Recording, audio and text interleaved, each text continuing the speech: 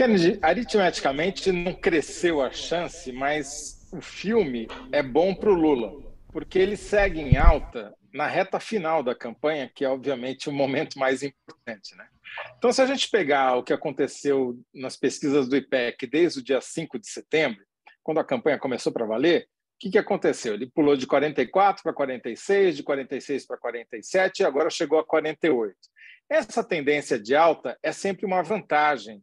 Se tem um candidato que está crescendo, mesmo que lentamente, e os outros estão parados, que parece ser o caso, né? porque a soma dos votos dos adversários do Lula continua a mesma há três pesquisas IPEC, há três rodadas do IPEC, está 44%, e agora chegou então a 48 versus 44.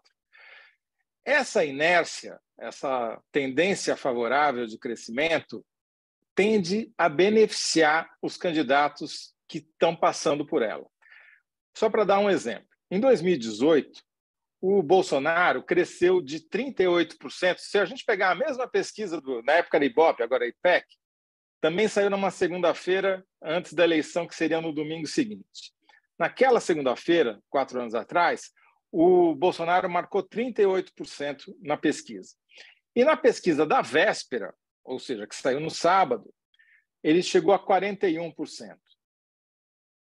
E ele acabou tendo 46% dos votos válidos. Por quê? Porque quase todos os indecisos migraram para ele nessa reta final. Por quê? Porque é como se o candidato que tivesse nessa tendência positiva puxasse, fosse um imã que levasse com ele a maior parte dos eleitores indecisos. Então, do lado positivo para o Lula, ou seja, da chance dele ganhar no primeiro turno, a gente tem essa inércia, essa tendência de crescimento muito tênue, muito leve, muito pequena, mas também muito constante. Mas aí tem outros fatores que podem complicar a vida dele, mas isso a gente fala depois. Bom, Big,